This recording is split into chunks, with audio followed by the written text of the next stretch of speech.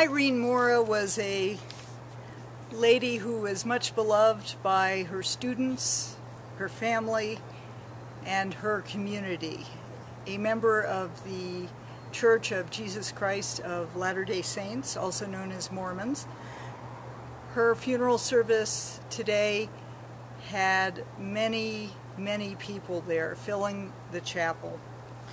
And I learned a few things about the Latter-day Saint Church as a part of this service. At the end of the service, the stake president, that's like the area for the specific part of Albuquerque that her church was a member of,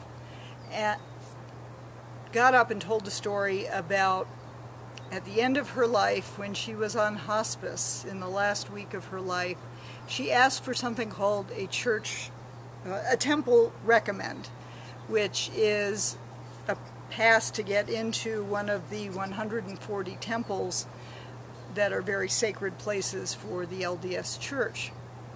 It requires a, an interview and an okay from the area bishop and stake president. Well, he told a story about how she responded to those questions that he asked of her as she was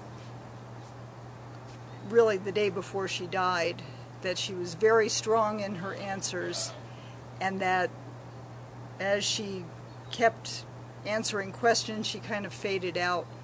But then as she got toward the end, got stronger again in her responses was, um, I had never heard about temple, temple recommends, and I want to thank uh, the folks who were there, especially Bill and Chris Lichman, who were giving me some of the insights about the setup of the church and helping me to connect with the family to get their permission for covering today's service.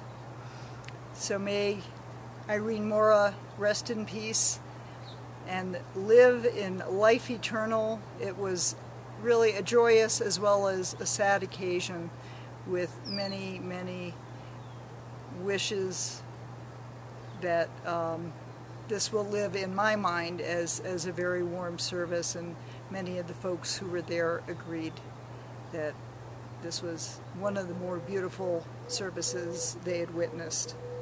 So my thanks again, and may Irene rest in peace.